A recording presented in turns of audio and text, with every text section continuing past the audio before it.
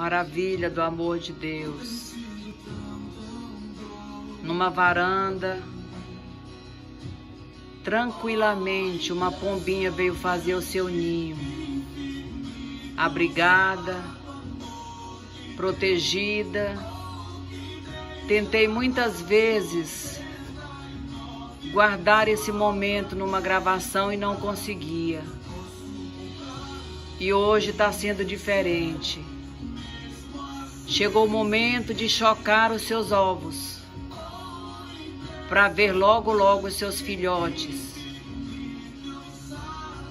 E enquanto ela faz isso, ela está demonstrando o amor que ela já sente pelos seus filhos, mesmo antes de conhecê-los. Isso é amor de mãe, cuidando dos seus filhotes em todo o tempo. E aqui tipifica o amor de Deus. Deus é assim conosco. Nos ama em todo o tempo. Antes que fôssemos gerados,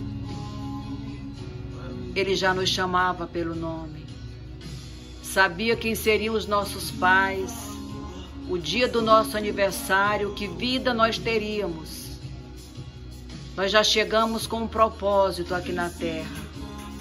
E Ele em todo o tempo cuida de nós, nos protegendo, nos guardando. Nós sentimos esse amor, apesar de não vê-lo.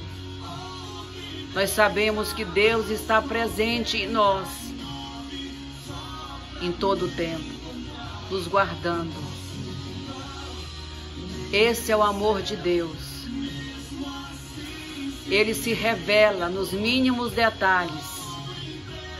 E eu quero mostrar esse amor através dessa pombinha cuidando do seu ninho. Louvado seja o nome de Deus. Louvado seja o nome do Senhor. Aleluia, Jesus.